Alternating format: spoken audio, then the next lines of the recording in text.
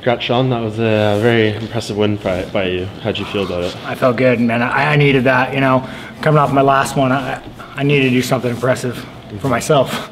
Yeah, right. Did you put that sort of pressure on yourself that you needed to do, or was it You- just you- something you realized after the fact? You know, I'm so afraid. I mean, I train. I train one of the. I'm one of the hardest training guys in the UFC, and I've been to all the best camps, and I'll tell you that from experience. And in the gym, I'm, I'm phenomenal. I'm, there's not one guy that can beat me every gym I go to. But when I fight, I'm so afraid of losing. I'm so afraid of like, I'm so afraid of failure. It's a it's a ceiling that I put over myself. And then after my last fight, getting clipped like that, knowing I got clipped because I was so afraid to to fight, because that's all it was. He clipped me because I was afraid to fight.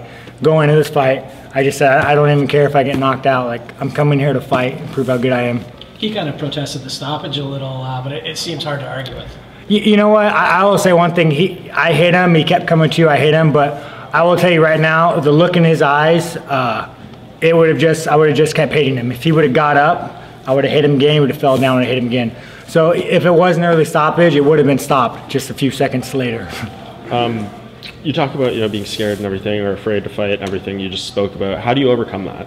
You know, it's been hard, man. Like I've been training since I was 14 years old. You know, I never, I never started, I never started training to be a fighter. I got kind of pushed into that. I was just, you know, I was just a punk kid who who was angry, and then I got pushed into fighting, and then when I fight, I, I, I put so many obstacles in front of myself, being afraid of losing, that I it holds me back.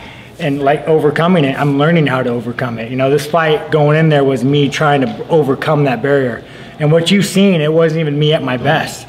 I, I, the wall is still there. I'm just trying to break it through.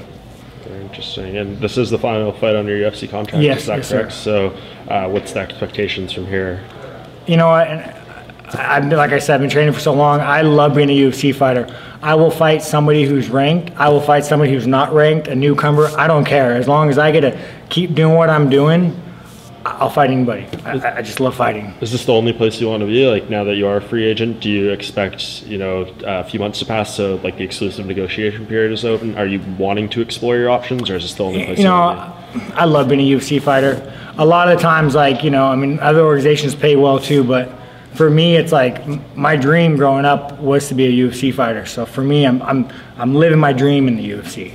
We've heard that from other fighter, one other fighter died on the card that it was the last fight on his contract.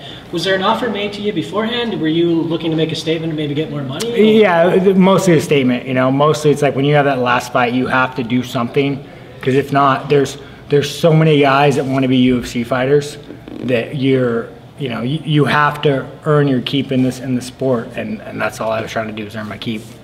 You had mentioned it after the fight, but what was it like, you know, fighting here in Canada, getting that opportunity? Oh, you know, I mean, I- I've fought all over the world, but but I, I love Canada. I'm I'm a country guy, you know, and then coming to um, coming to this town, Moncton, like I love it. This is it's country, it's a city. Like hell, man, I, I could live here, you know, if I didn't love America so much, and, and your gun laws were better. but your gun laws are kind of bad, so I don't think I could be here.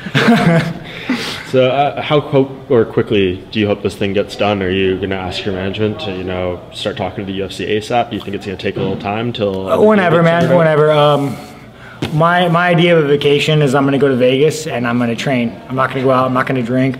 I'm going to go out and train. So it doesn't matter the contract negotiation. I'm I'm, I'm just going to be me. I'm going to do what I love. And then if, if doors open up and I get paid more, whatever might happen, like I'm, I'm excited. But I'm just happy to be a fighter. Do you allow yourself to celebrate tonight even? No, I, I don't drink. I'm I'm going to go to my hotel room and call my mom and my family, and then come home and let my knee rest for a couple days and get back to training. Anything like do you indulge in food or anything? No, like what do you do? I'll eat, I'll eat bad, but I mean, my addiction's training. I, I love it. Like the only thing, literally the only thing on this planet I love to do, girls, sex, whatever, I, I will pick training any day over any other thing on this planet.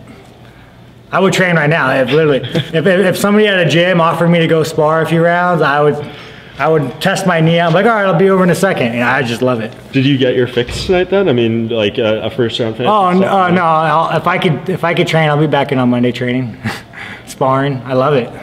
Makes me happy. You know, it keeps the demons away. Right. Perfect. Thanks, Thanks. man.